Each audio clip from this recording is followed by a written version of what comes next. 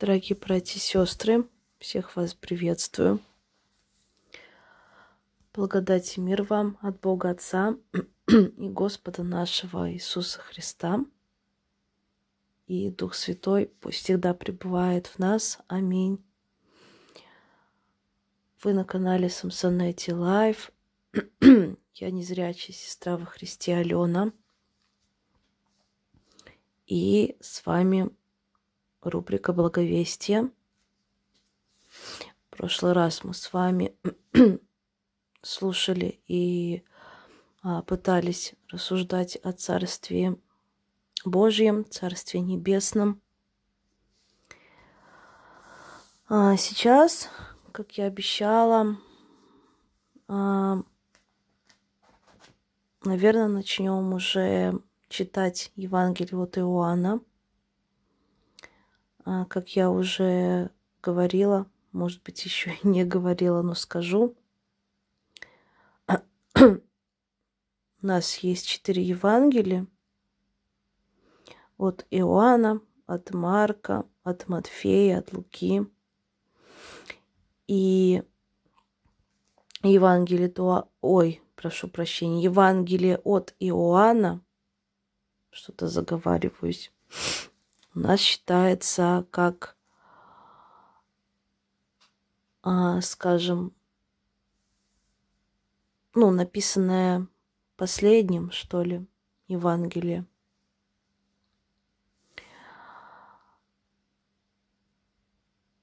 Ну, начнем, наверное, да, с этого Евангелия именно или как лучше сказать, от Иоанна Святое Благовествование.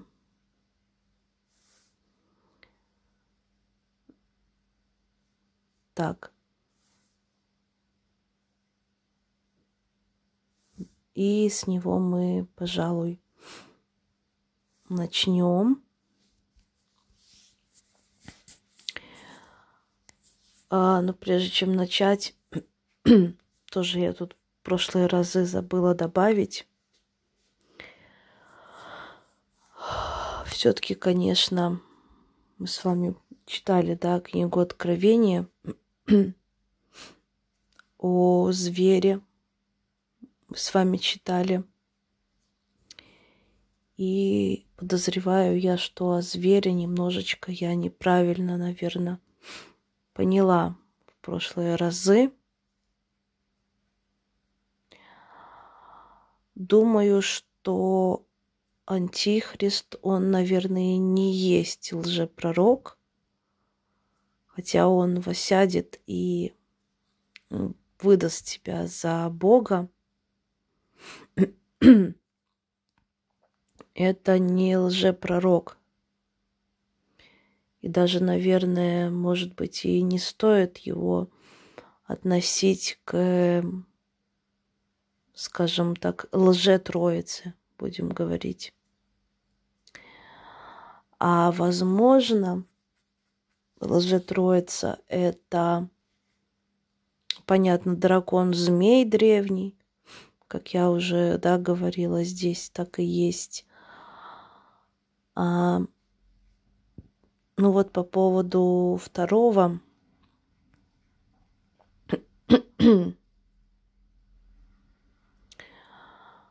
А вот как раз-таки, наверное, лжепророк и есть. Но он, я думаю, что не есть антихрист. Хотя вот можете меня поправить. Меня тоже эта тема очень волнует. И третье, да, третья сторона, а, скажем, не знаю, стоит ли тут говорить в данном случае личность. Это образ зверя, да, который оживет, который будет э, говорить.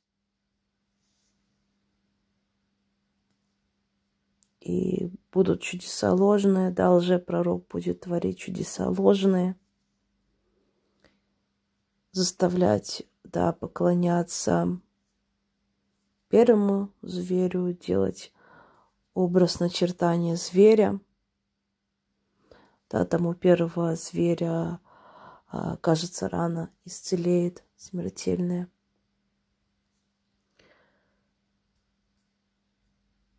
Вот, как-то. Но все-таки мы собираемся с вами читать Евангелие от Иоанна. И здесь параллель, да, книга, книгу тоже откровений писал Иоанн. Ему было дано откровение от Господа. Вот. И пока не ушли, наверное, вот я вот, да, об этом, наверное, точно уже решила сказать. Вот, опять-таки, по поводу зверя, если будут какие-то у вас э, комментарии, то есть наблюдения и так далее, да, более точные толкования, пишите в комментариях. И по мере возможности их озвучу, ваши комментарии. Вот. ну, давайте читать наше Евангелие от Иоанна. Снова мы помолимся. Господь, благодарность Тебе за Слово Твое и слава Тебе за все. Благослови нашу рубрику, чтение наше, Евангелие. И во всем Тебе слава и благодарность. Аминь. Во имя Отца и Сына и Святого Духа. Аминь. Так, ну начнем. Первая глава у нас. Так. Вначале было слово, и слово было у Бога, и слово было Бог. Да, вот так вот примерно Ветхий Завет тоже начинается, книга Бытия. Вот мне тоже его подарили. Но я вам не читаю ничего из Ветхого Завета, потому что, к сожалению, мне не нравится перевод. Он не совсем синодальный. А вот Новый Завет, слава Господу, а мы с вами будем читать, потому что хороший синодальный перевод. Ну, давайте дальше. Оно было в начале у Бога. Все через Него начало быть. И без Него нич- ничто не начало быть, что начало быть. В нем была жизнь, и жизнь была свет человеков. И свет во тьме светит, и тьма не объяла его.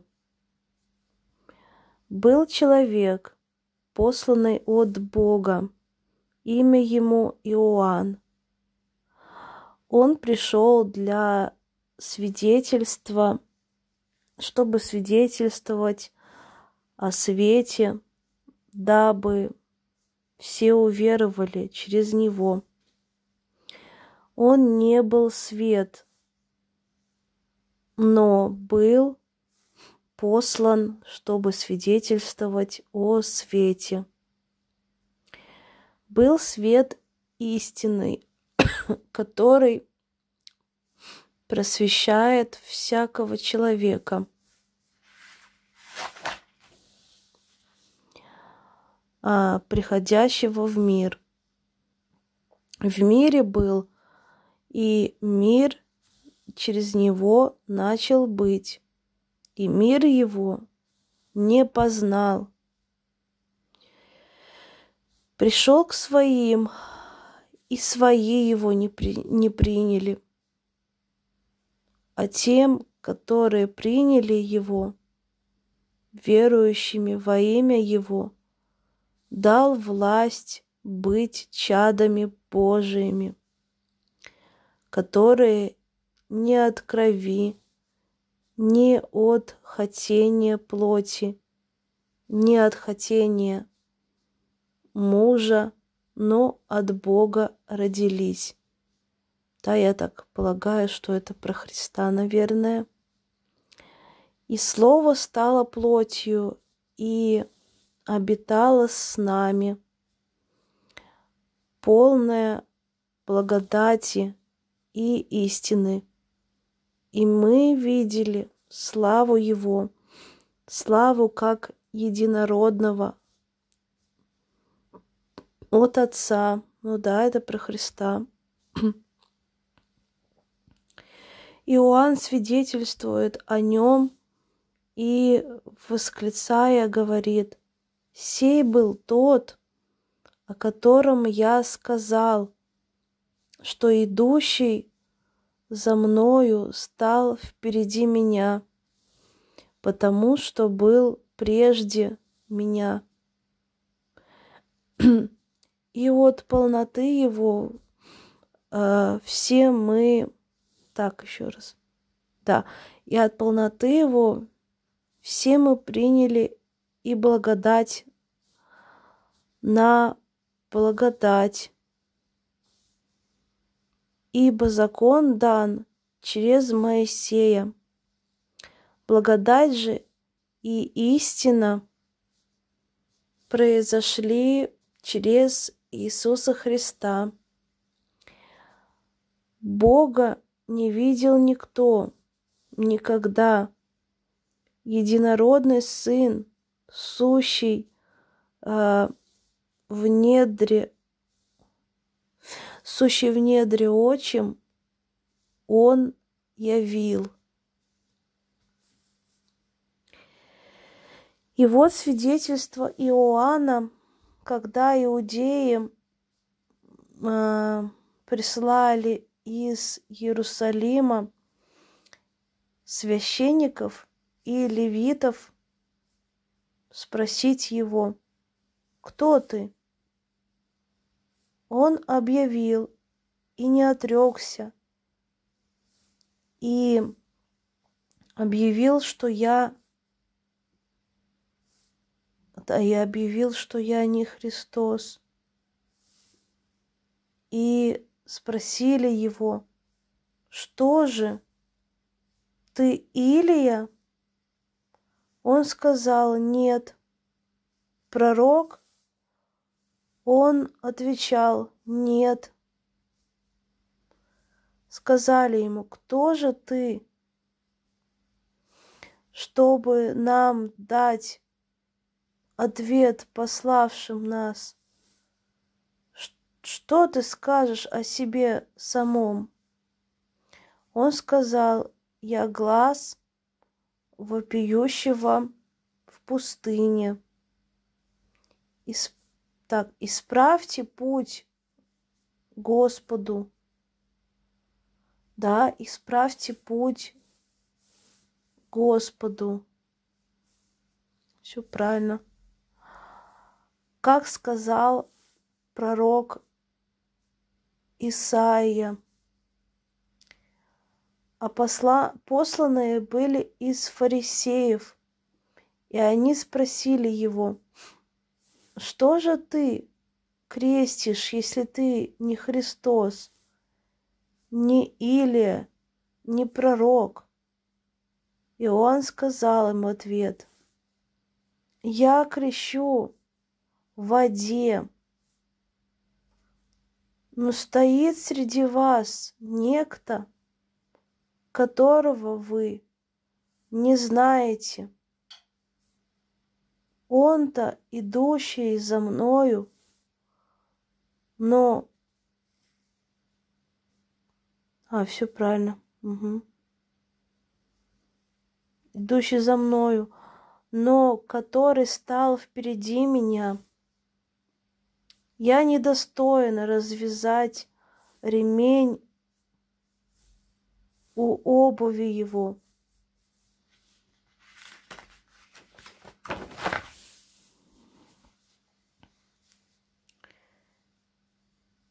А, и еще где-то мы с вами дальше в других писаниях, других Евангелиях прочитаем а, то, что Иоанн а, говорил, что я крещу водой,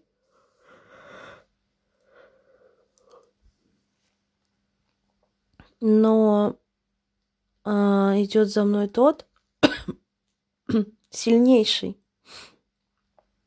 который будет крестить вас, да, огнем и духом, духом святым и огнем. А, даже духом и огнем, как-то вот так вот. Ну, святым, понятно. Дальше. Это происходило в Вифа... Сейчас. Вифава... Вифаваре. Это происходило в Вифаваре при Иордане, где крестил Иоанн. На другой день видит Иоанн, идущего к нему Иисуса, и говорит, «Вот Агнец Божий, который берет на себя грех мира». Да, понятно, он взял на себя грех, все грехи мира.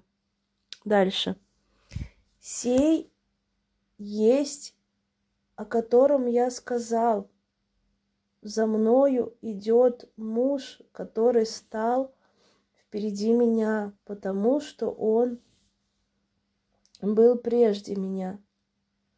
Я не знала его, но для, для того пришел э, крестить в воде, чтобы он явлен был Израилю. И свидетельствовал Иоанн, говоря, «Я видел Духа, сходящего с неба, как голубя, и пребывающего на нем. Я не знал его, но пославший меня, э, пославший меня крестить в воде, сказал мне, на кого увидишь духа сходящего, пребывающего на нем, тот есть крестящий Духом Святым. И я видел и засвидетельствовал, что сей есть Сын Божий. На другой день опять стоял Иоанн и двое из учеников его. И, увидев идущего Иисуса, сказал, «Вот Агнец Божий, Услышав от него сии слова, а, оба ученика пошли за Иисусом. Иисус же, обратившись и увидев их, идущих, говорит им, что вам надобно? Они сказали ему, Рави, что значит, а что значит учитель? Где живешь? Говорит им, пойдите и увидите. Они пошли и увидели, где он живет, и пробыли у него день тот. Было около девятого часа. Один из двух слышавших от Иоанна об Иисусе и последовавших за ним, был Андрей. Вот Андрей Первозванный, кажется. Если я не ошибаюсь. Брат Симона Петра. Он первый находит брата своего, Симона и говорит ему, мы нашли Мессию, что значит Христос, и привел его к Иисусу. Иисус же, взглянув на него, сказал, «Ты Симон, сын Ионин, ты наречешься Кифом, что значит камень, Петр. На другой день Иисус восхотел идти в Галилею и находит Филиппа и говорит ему, иди за мною. Филипп же был из... Сейчас, Вивс... Да, Филипп же был из Вивсаиды, из одного города с Андреем и Петром. Филипп находит Нафанаила и говорит ему, мы нашли того, о котором писали, о, о котором писали Моисей в законе и пророки, Иисуса, сына Иосифова, из Назарета. Но Нафанаил сказал ему, из Назарета может ли быть, что доброе? Филипп говорит ему, пойди и посмотри. Иисус, увидев идущего к нему Нафанаила, говорит о нем. вот подлинный израильтянин, в котором нет лукавства. Нафанаил говорит ему, почему ты знаешь меня? Иисус сказал ему в ответ, прежде нежели созвал тебя Филипп, когда ты был под смоковницей, я видел тебя. Нафанаил отвечал ему, Рави, ты сын Божий, ты царь Израилев. Иисус сказал ему в ответ, ты веришь, потому что я тебе сказал, я видел тебя по смоковницею. Увидишь больше всего. И говорит ему, истина, истинно говорю вам, отныне будете видеть небо отверстым и ангелов Божьих, восходящих в а восходящих и нисходящих к Сыну Человеческому. Вот такая вот у нас первая глава. Я думаю, что возьмем вторую. Так, глава вторая. На третий день был брак в Кане Галилейской – и Матерь Иисуса была там. Был также э, так зван, ну да. Был также зван Иисус и ученики его на брак. Вот здесь какой-то такой прообраз прослеживается, да, то, что будет про Каганца. Вот вообще, конечно, вся Библия, она из прообразов. Ну, давайте дальше. И как не доставала вина, то Матерь Иисуса говорит ему, вина нет у них. Иисус говорит ей, что мне и тебе Ж, что за жену? А, что мне тебе жену? Еще не пришел час мой. А, ну понятно, что мне и тебе, жена, наверное, Жена.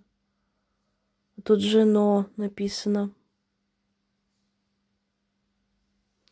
Еще не пришел час мой. Да, здесь явно прообраз, да, что Христос говорит, еще мой час не пришел. Вот, дальше. Матерь его сказала служителям, что скажет он вам, то сделайте, а что скажет он вам, то сделайте. Было же тут шесть каменных водоносов, стоящих по обычаю очищения, так, по обычаю, да, очищения иудейского, вмещавших по две или по три меры. Иисус говорит им, наполните сосуды водою. И наполнили их. Сейчас, секунду. И наполнили их доверху. И говорит им, теперь почерпните и несите к распорядителю пира и понесли. Когда же распорядитель отведал воды, сделавшейся вином,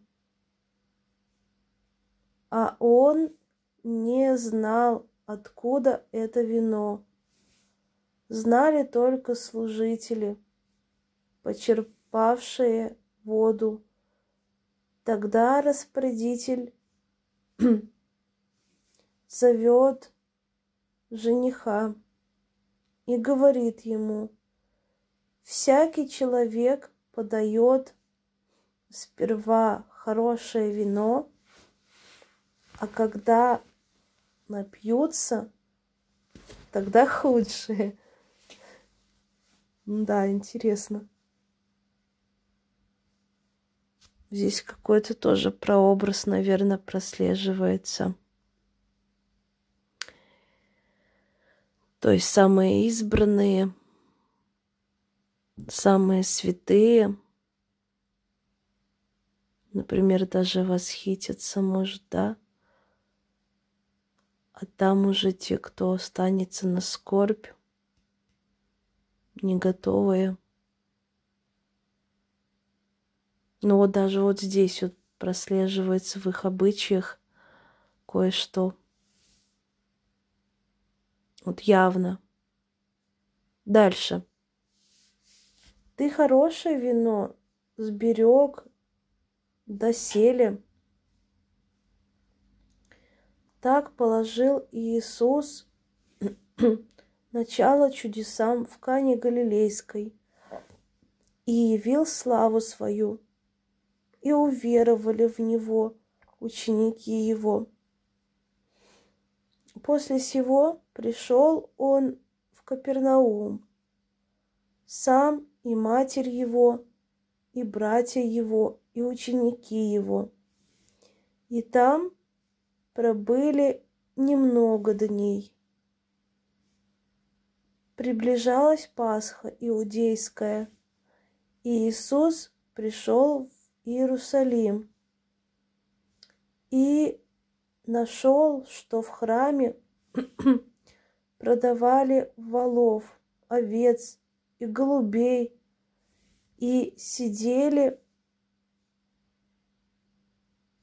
сейчас меновщики, а, сидели миновщики денег. И сделав бич из веревок, выгнал из храма всех,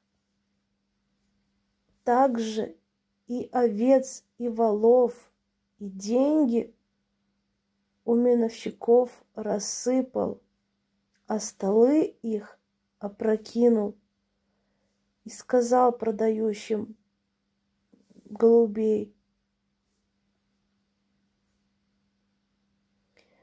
Возьмите это отсюда, и дом отца моего не делайте домом торговли, ну, вертепом для разбойников.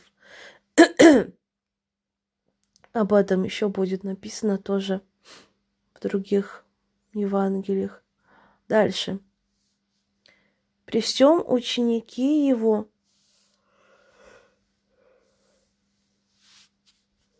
вспомнили, что написано. Ревность по доме твоем снедает меня.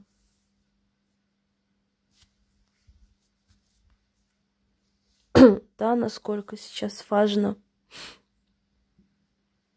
чтобы храм, да, дом молитвы оставался домом молитвы. Не хочу никого обидеть, но вот во многих, к сожалению, церквях, в храмах торгуют. Не буду сейчас ни на кого тыкать пальцем, но люди об этом думаю, что кто слушают, догадываются. Дальше. На это иудеи сказали, каким знанием докажешь ты нам, что имеешь власть так поступать? И Иисус сказал им в ответ, разрушьте храм сей, и я в три дня воздвигну его.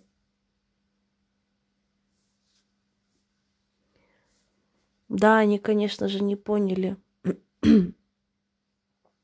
о чем здесь идет речь. И здесь получается, когда он был на распятии, они, конечно, над ним смеялись, что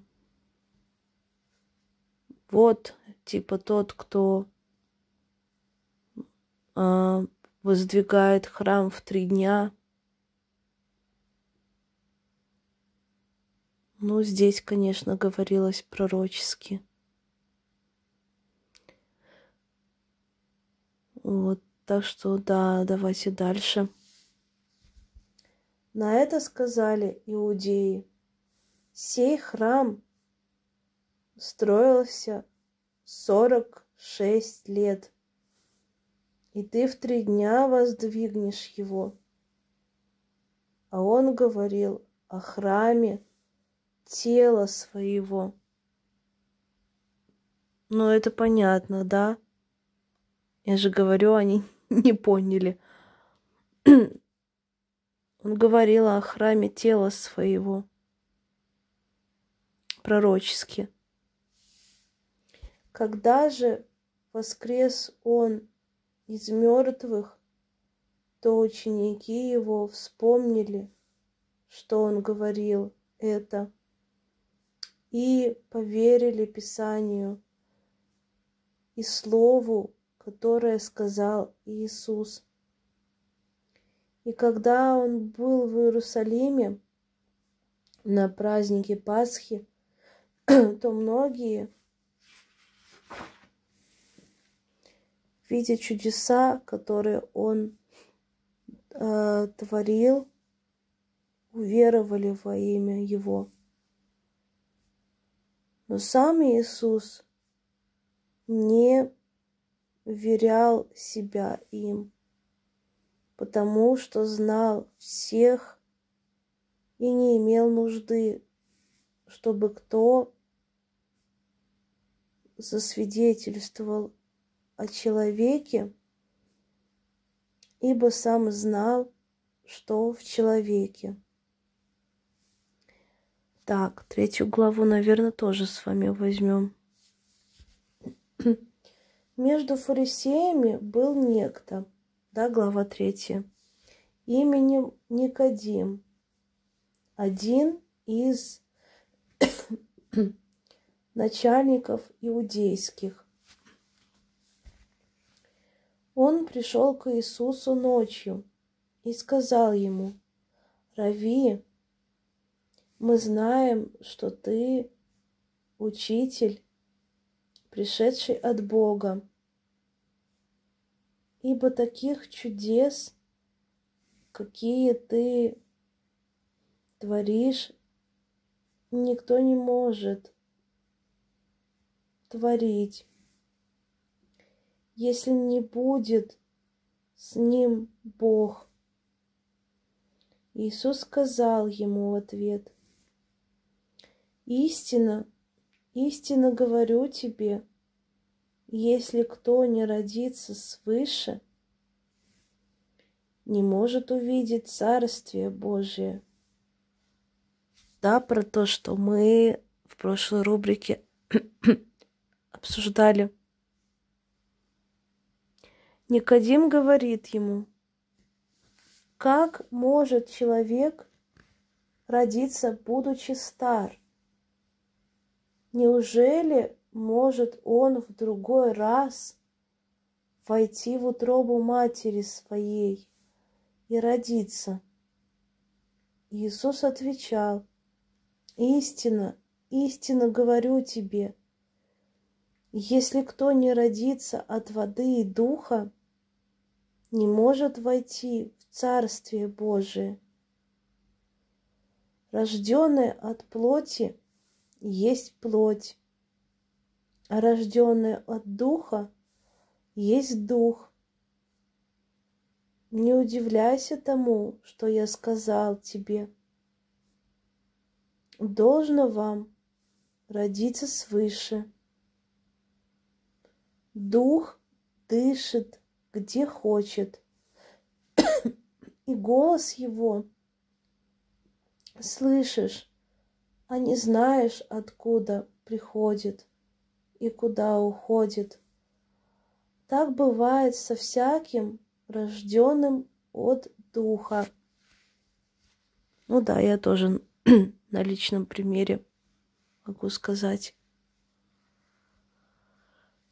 Голос, даже не то, что голос, а мысль приходит, и не знаешь даже, откуда уходит, и... Ой, откуда приходит и куда уходит. Да, именно я говорю сейчас о мыслях, которые а, посылает Господь через Духа Святого. Вот бывает, когда вот надо что-то сделать, прям Дух Святой кричит об этом. И когда ты это совершаешь, такая радость внутри. Так что меня может понять только тот, кто рожден свыше. Вот. Ну давайте дальше. Никодим сказал ему в ответ – это может быть? Иисус отвечал и сказал ему, ты учитель Израилев, и этого ли не знаешь? Истина, истинно говорю тебе.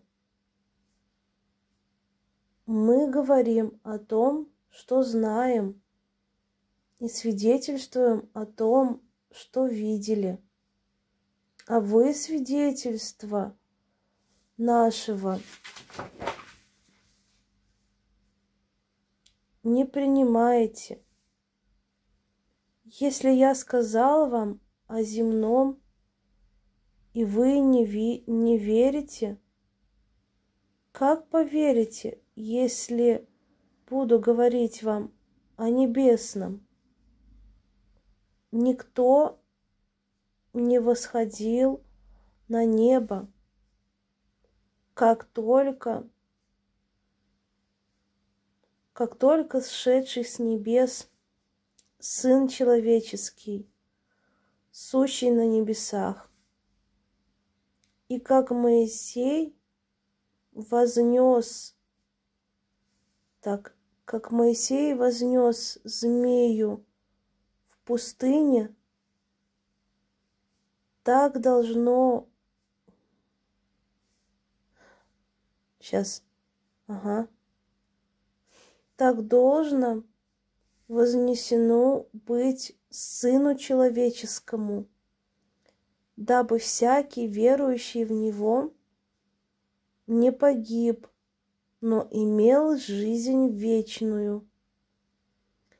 Ибо так возлюбил Бог мир, что отдал Сына Своего Единородного, дабы всякий верующий в Него не погиб, но имел жизнь вечную.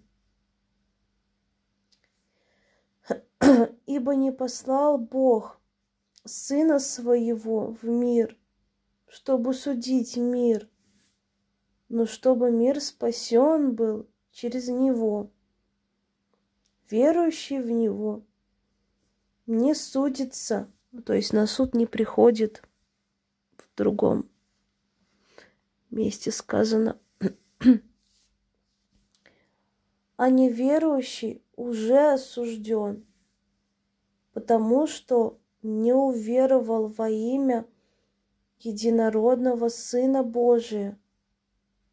Суд же сотворит... А. Суд же состоит в том, что свет пришел в мир, но люди более возлюбили тьму, нежели свет, потому что дела их были злы.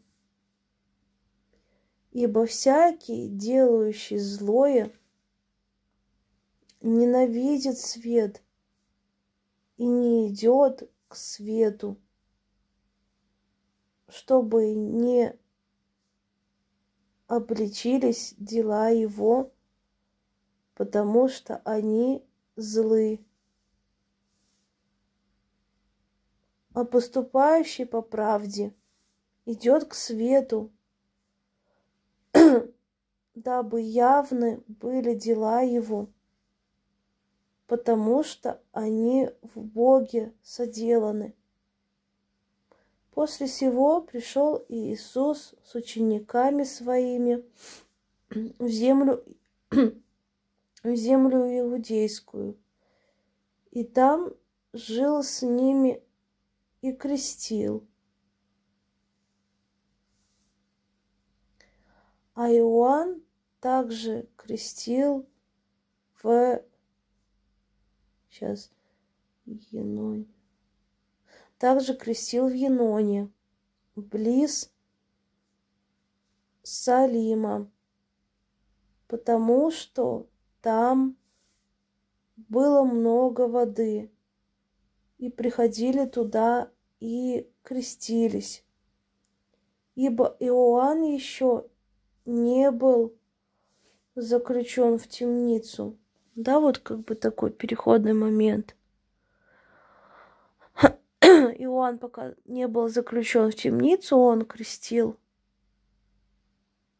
Но уже и Христос тоже крестил.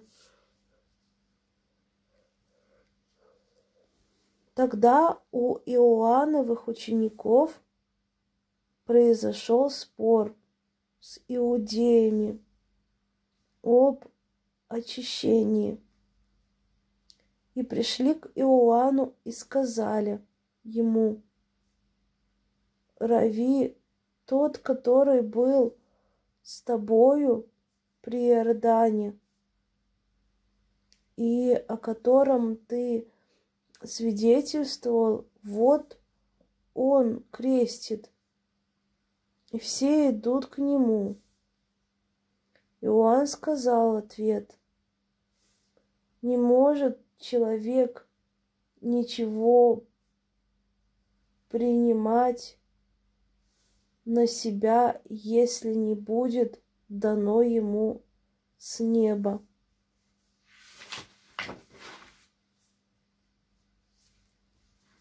Ну да, логично. Вы сами мне свидетели в том, что я сказал. Не я Христос, но послан пред Ним, имеющий так, имеющий невесту, есть жених, а друг жениха, стоящий и внимающий ему. Радостью радуем, э, радостью радуется, слыша голос жениха. Вот тоже прообраз. Сия-то радость моя исполнилась. Ему должно расти, а мне умоляться. Приходящий свыше и есть выше всего, а выше всех. А сущий от земли земной и есть, и говорит, как сущий от земли. Приходящий с небес есть выше всех, и что он видел и слышал о том, и свидетельствует – и никто не принимает свидетельство его. Принявший его свидетельство, Сим запечатлел, да, Сим запечатлел, что Бог истинен, ибо тот, которого послал Бог, говорит слова Божии. Ибо не мерою дает Бог Духа, ибо не мерою дает Бог Духа. Отец любит Сына и все дал в руку Его. Верующий в Сына имеет жизнь вечную, а неверующий в Сына не увидит жизни, но гнев Божий пребывает на нем. Так, вот глава четвертая. Сейчас мы подумаем, надо ли нам сейчас. Так, четвертую главу читать. Или все-таки нет? Многовато будет, наверное. Нам с вами.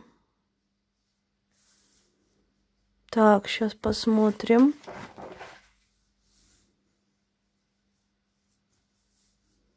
Сейчас посмотрим.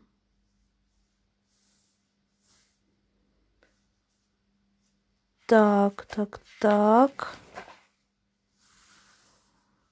Глава пять.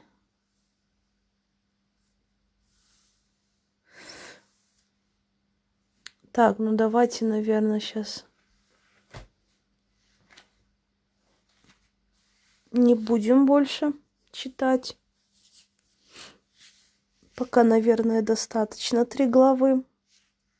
Они весомые. И там уже дальше пойдет про самарянку, про исцеление. Это у нас с вами будет уже следующая рубрика. вот, давайте, чтобы не задерживаться, наверное, помолимся мы с вами. Господь, благодарю Тебя за Слово Твое, за книгу сию, Евангелие. Благодарю за то, что мы еще пока можем читать ее во время благодати.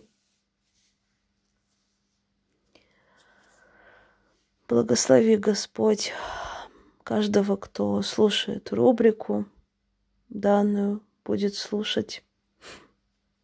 Благослови поступать каждого по слову Твоему. Ибо есть Твое царство, сила и слава. Отец, Сын и Дух Святой. Аминь.